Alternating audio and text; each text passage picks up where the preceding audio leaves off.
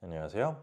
오늘은 영어 공부에서 제일 중요한 거, 제 개인적인 기준에서 그래서 한번 얘기를 해볼게요. 제가 생각했을 때 영어에서는 제일 중요한 거는 호기심이라고 생각해요. 호기심.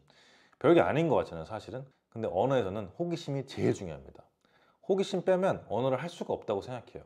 단순함기? 뭐, 그럴 수 있겠죠. 근데 그거는 별로 오래 가지 못한다고 생각해요. 단순 암기는 언젠가 까먹어요. 그래서 이거에 대해서 내가 그냥 단순히 외운다? 이건 언젠가 까먹습니다. 그래서 결국에는 별로 의미 없는 그런 게 되는 거죠. 왜? 까먹으니까. 근데 호기심 같은 경우에는 이게 계속 꾸준하잖아요. 그러면 영어 실력을 발전시키는데 사실 다른 언어랑 또 똑같아요. 다른 언어 같은 경우에도 호기심이 저는 충분하다면 무조건 그 언어를 잘할 수가 있다고 생각하거든요. 그래서 호기심이 제일 중요하다고 생각해요. 근데 호기심이 어떤 호기심이냐? 구조적인 호기심은 별로 안 좋아요. 구조적인 호기심은 뭐냐면 이건 왜 이렇게 되지? 이런 거 있잖아요. 그런 것들을 너무 깊게 생각하면 안 좋다 이거죠. 그냥 어 이렇게 되네? 오 뭐야 이거 신기하네? 요거는 이렇게 됐는데 요건 이렇게 되네? 오케이 좀 다르구나. 아 이렇게 되는 거구나. 이렇게 그냥 넘어가면 돼요. 왜 문법이 이런데 왜 나는 그래머 뉴스에서 이렇게 배웠는데 왜 이렇게 안 되지? 이렇게 구조적으로 그런 호기심은 별로 안 좋다고 생각해요. 그래서 그냥 호기심, 순수 호기심. 어떤 주제에 대해서 어 이건 뭐지? 궁금해하고 예를 들어서 지금 세계 같은 경우는 환경 보호라든지 그런 거에 관심이 되게 많고 그런 활동을 하는 사람도 되게 많고 그리고 그런 거에 신경을 되게 많이 쓰잖아요. 그래서 비건도 있고 그 다음에 지금 no oil 이러면서 그 막 길가를 막고 기름 쓰지 말라 그러면서 막 차를 막는 그런 사람들도 있거든요. 그리고 요새 뭐 박물관에 갑자기 뭐 페인트 뿌리고 막 그런 사람도 있잖아요. 네, 그런 것들도 보면서 저 사람들 도대체 뭐야 하면서 궁금해하고 그래서 그런 것들 영어로 찾아보고 단어들 찾아보고 계속 궁금해하는 거죠. 저 사람들은 왜 저럴까? 아 이런 생각을 가지고 있구나. 그러면서 영어 공부하고 단어 공부하고 물론 처음엔 되게 더디고 힘들고 짜증날 수 있어요. 그죠? 근데 궁금해하는 게 제일 중요하다고 생각하고 그 다음에 이제 끈기와 자세하게 보는 거 이게 되게 중요하다고 생각해요. 많은 분들이 본인이 아는 단어 같은 경우에 자기가 찰떡같이 확실하게 안다고 생각하는 경우가 되게 많아요.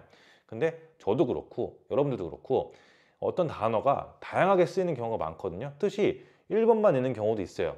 예를 들어서 스마트폰 있죠? 스마트폰은 정말 그냥 단어 그거 딱 그냥 그거 하나예요. 스마트폰 그냥 끝.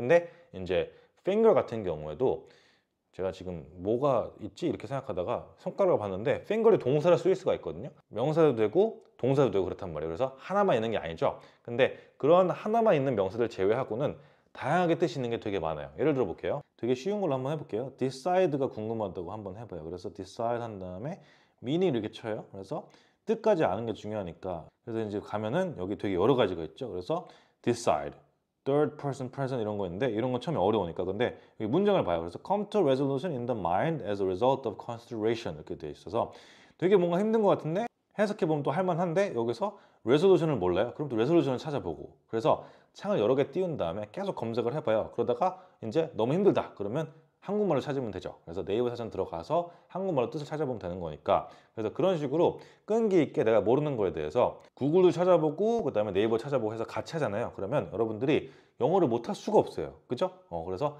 계속 찾아보는 거예요. 그래서 계속 찾아보다 보면은 비슷한 단어가 보이고 그 다음에 단어가 익혀지고 그래서 그런 식으로 검색을 하루에 두세 시간에 하면 좋거든요. 모르는 거 그냥 계속 하는 거 검색을 그냥 죽어라.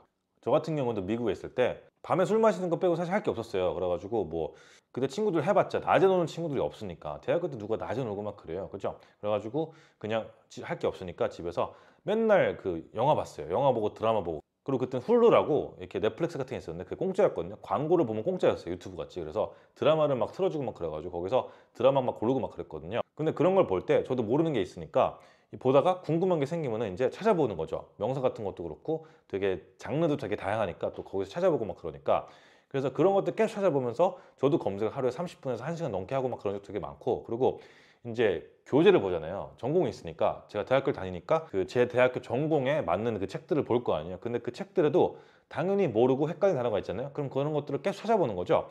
근데 그런 것들이 지겹고 그런 것들이 싫고 귀찮고 그러잖아요. 그러면은 뭘 해요?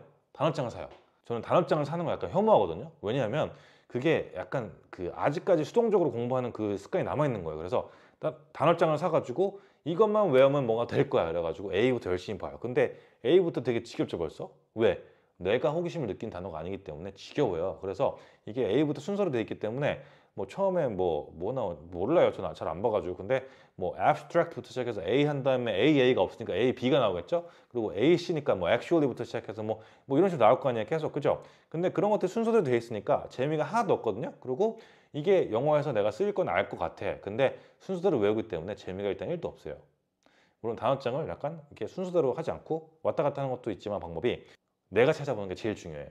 내가 찾아보고 내가 그 상황에 맞게 찾아보고 이건가 이건가 그리고 사람 뇌가 되게 좋거든요. 이게 IQ가 높은 거랑 낮은 거랑 상관없이 언어 관련해서는 제가 생각했을 때 뇌가 되게 좋아요. 그래서 이 머릿속에서 내가 찾아보면서 궁리하면서 검색하면서 이거를 계속 뇌를 자극시키는 것 자체가 벌써 공부거든요. 이게 엄청난 훈련이 되거든요. 근데 그런 것들을 하지 않고 그냥 계속 수동적으로 받아먹기만 하는 그런 공부 있잖아요. 그런 것들은 최악이라고 생각해요. 그래서 올해는 그런 것들을 지양하고 검색을 계속해서 호기심을 가지고 내가 궁금한 그런 분야, 내가 좋아하는 분야가 있을 거 아니에요. 그런 거 찾아가지고 그런 것들을 빠삭하게 한번 공부를 해보세요. 그러면은 대화할 거리도 많아지고 단어도 되게 많이 외우게 되고 문장 구조도 많이 외우게 되고 그래서 영어가 엄청 좋아질 수밖에 없어요.